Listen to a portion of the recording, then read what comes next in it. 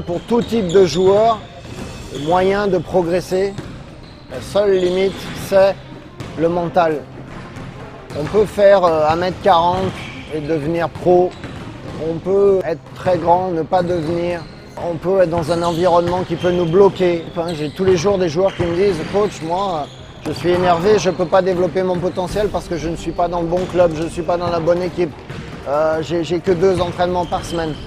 Le message, c'est ok, la situation de, tout un chacun, même de joueurs pro qu'aujourd'hui je, côtoie, elle n'a jamais été facile. Il y a toujours des, obstacles, mais si vous avez envie de progresser, il y a des moyens pour progresser, il y a des camps, il y a des, beaucoup de, formats et de choses possibles, et que la seule limite, elle est, elle est, elle est mentale, elle est dans votre tête. Si vous voulez vraiment, vous pourrez progresser, vous pourrez trouver des solutions à votre problème un joueur qui est, prêt, à courir partout, même s'il il sait qu'à la fin du match, il va finir par terre.